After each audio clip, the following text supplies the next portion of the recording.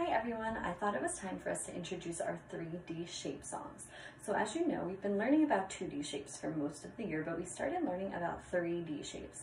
And 3D shapes are the ones with more than one side, you can hold them in your hand, you can't really draw them, they're definitely not flat. Most things in our house and our classroom are made of 3D shapes, you can hold them. Um, so most things around us are made of 3D shapes. So there's some songs, they're really fun, that go along with each 3D shape to kind of help us remember. They give us a clue about what the shape looks like to help us remember the names of each 3D shape. So they all start the same way. You say the name of the shape and then what's your clue. So for example, if we're doing a sphere, we say sphere, sphere, what's your clue? Now there's little dance moves that go along with each one. So I like to stand and do them. You can sit and do them, but I think it's a lot more fun and a lot easier if you stand. So our first 3D shape we're gonna work with is a sphere. Now a sphere looks just like a ball, right? And now we all know what a soccer ball looks like. It's the um, black and white one that you kick around and it's the same shape as a sphere. So the song for a sphere goes, sphere, sphere, what's your clue? You look like a soccer ball I kick with my shoe. And you can give it a little kick. So let's try that together. Sphere, sphere, what's your clue? You look like a soccer ball I kick with my shoe. Great job. Let's try another one. Here we have a cylinder. Now a cylinder looks kind of like a can. And if you've ever seen a can of soup, it looks just like this shape, but probably a little bit bigger. And you open the top and pour the soup out. So the one for this is going to be a can of chicken noodle soup. And at the end we say yum yum. Last year my class didn't like chicken noodle soup, they like tomato soup. So you can change it to any type of soup you want, but I'm gonna sing chicken soup. Chicken noodle soup, ready? Cylinder, cylinder, what's your clue? You look like a can of chicken noodle soup. Yum, yum. Let's try that one more time. Cylinder, cylinder, what's your clue? You look like a can of chicken noodle soup. Yum, yum. Great job. Let's move on. Here we have a pyramid. This is one of my favorite ones. The pyramid looks like this. Now, if you've ever seen like mummies or pharaohs in Egypt, they live in big, big, big, tall, triangular looking buildings that are called pyramids. If you don't know what they are, look up a picture. Ask mom or dad or someone older than you to Google a picture of pyramids to show you. So the people in Egypt are called Egyptians, and that's where the pyramids are, and they look just like this. They're very, very tall, goldish yellow looking buildings. So, for this one we say, pyramid, pyramid, what's your clue? You look like the house the Egyptians walk through.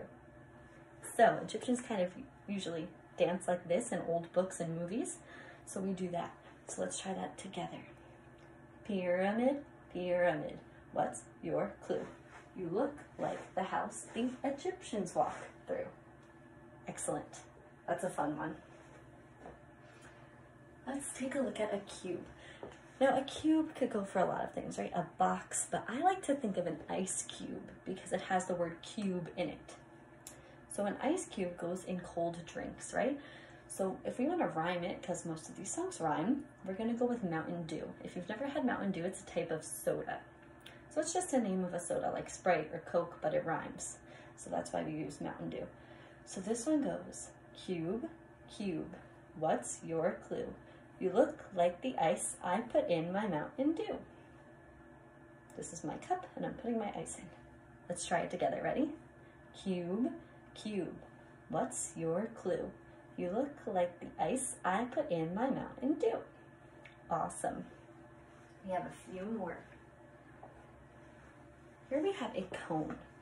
Now it could look like a party hat, but for our song, it is going to be an ice cream cone. I love ice cream. I know most of you do too. So this one goes, cone, cone. What's your clue? Don't let the ice cream drip on you. Because we don't want it to melt and drip on our clothes, right? So let's try that together. Cone, cone. What's your clue? Don't let the ice cream drip on you. Excellent job. And we have our last one.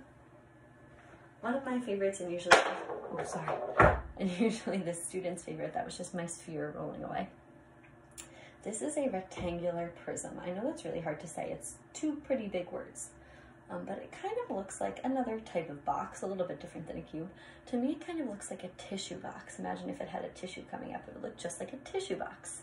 So for this one, we say rectangular prism. What's your clue? You look like a tissue box. I sneeze at you. So you sneeze at the end. Of course, we always sneeze into our elbow, right? We're practicing healthy habits. So we just pretend to sneeze and cover it with our elbow at the end. Let's try it together. Rectangular prism. What's your clue? You look like a tissue box. I sneeze you. Excellent job. I'm going to leave this up on YouTube and Google Classroom so you can practice them whenever you want.